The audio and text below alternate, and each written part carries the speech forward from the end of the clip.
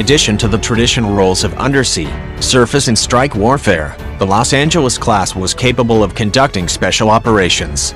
Select ships in the class were capable of being fitted with a portable dry dock shelter, which could hold a swimmer delivery vehicle, up to 20 SEAL commandos and 4 combat rubber raiding craft. This role has been taken over by the Ohio-class cruise missile submarines in the Seawolf class, particularly the USS Jimmy Carter. The Los Angeles-class nuclear attack submarines were the most successful American submarines of the Cold War. The United States built 62 Los Angeles-class subs, more than any class except for the Gato class of World War II. Fast, powerful and heavily armed, the submarines are slowly being replaced by Virginia-class attack boats.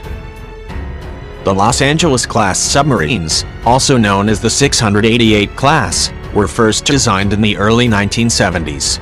The first ship, Los Angeles, SSN 688, was laid down in 1976. The submarines were produced at a Cold War pace, with production averaging 3 to 5 submarines annually, significantly higher than the current pace of two Virginia-class submarines produced annually.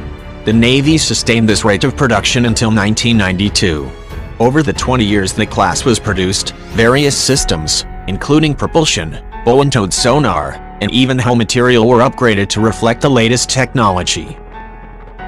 At 360 feet long and 6,927 tons submerged, the Los Angeles-class submarines were designed to be 20% longer and 50% larger by displacement volume than their predecessors, the Sturgeon class. They are also reportedly much faster, while the Sturgeon class could make 26 knots submerged, the Los Angeles class can allegedly make a swift 37 knots. The Los Angeles class submarines were constructed from HY-80 steel, with a glass-reinforced plastic bow over the sonar array. This gives the submarine a maximum official depth of 650 feet. Other sources peg maximum operating depth at 950 feet. The absolute maximum diving depth in emergencies is reportedly 1,475 feet. The submarines feature a teardrop hull first introduced with the Skipjack class, with diving planes mounted on the sail. The last 23 ships in class moved the diving planes to the bow and feature strengthened sails for breaking through Arctic ice. This was likely in response to the Soviet Union's Typhoon-class ballistic missile submarines, which were designed to operate under and through Arctic pack ice. According to combat fleets of the world, each submarine is served by a General Electric S6G pressurized water reactor powering two sets of geared steam turbines. The reactor provides 35,000 shaft horsepower to a single seven-bladed propeller. Some of the last of the class built of pump jets instead of a propeller. A diesel generator and batteries are available to provide emergency propulsion. The sensor suite is centered around the BQQ-5 sonar system, with the class progressively equipped with the BQQ-5AV, 1, BQQ-5C and later the BQQ-5D, the same sonar that equips the Seawolf class. For flank detection, NBQG-5 wide aperture arrays dot the submarine sides, providing passive sonar detection capability. The class has been equipped with several towed sonar arrays, most recently the TB-29 thin-line towed array. The tail fins that support the towed arrays also support 7-celled countermeasure set, acoustic Mk2 launchers. Armament consists of four 533mm torpedo tubes for all production submarines. The tubes are placed amidships on the hull due to the bow housing the active pass sonar array. The ships can carry 26 torpedo-tube launched weapons which at the height of the Cold War included Mk-48 homing torpedoes, up to 8 Tomahawk cruise missiles, Harpoon anti-ship missiles and Captor mines.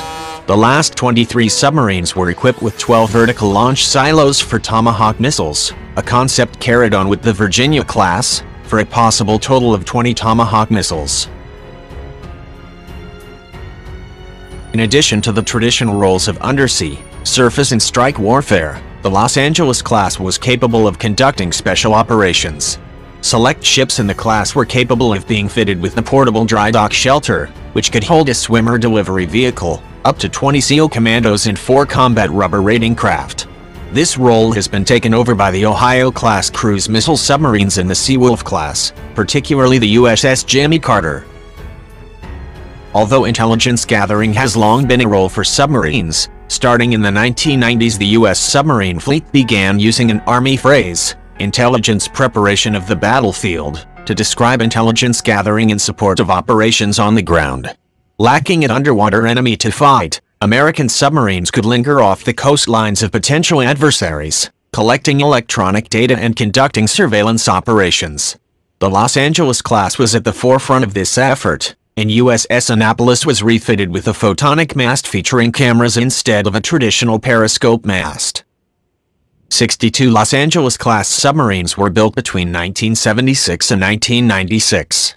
Not all of them served at once. Some of the earliest subs were retired starting in 1995 with just 17 years of service to avoid costly nuclear refueling costs while the production line was still running. Today 38 are still on active duty. The Seawolf class, meant to provide deeper diving submarines capable of Arctic operations, was cancelled at three ships due to cost overruns in the quest for a 1990s peace dividend. The true replacements for the 688 class are the Virginia submarines, currently under construction.